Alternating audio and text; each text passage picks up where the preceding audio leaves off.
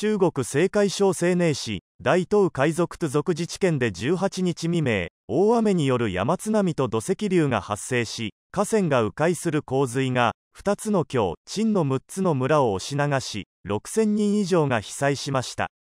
当局は洪水により16人が死亡36人が行方不明になっていると発表しました。中国の公式メディアによると17日午後10時25分から青海省青寧市大東海賊と族自治県で集中豪雨により山津波土石流が発生し河川が迂回し2つの京陳6つの村1517世帯6245人が被災したといいます。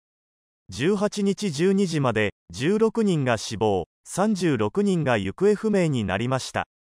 当局は突発的災害事象2に対する緊急対応を開始しました。ネットユーザーが投稿した動画では洪水によって引き起こされた土石流が川を塞ぎ激しい洪水が直接道路に流れ込み家屋を破壊している様子が映っています。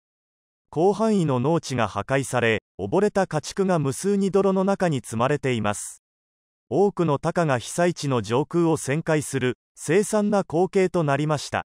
洪水が早朝に突然発生したため多くの住民が逃げ遅れ多数の死傷者が出ました。地元の住民によると青山峡陳の低地にある家が押し流され避難する余裕がない村人もおり多くの豚牛羊も流され溺れたといいます。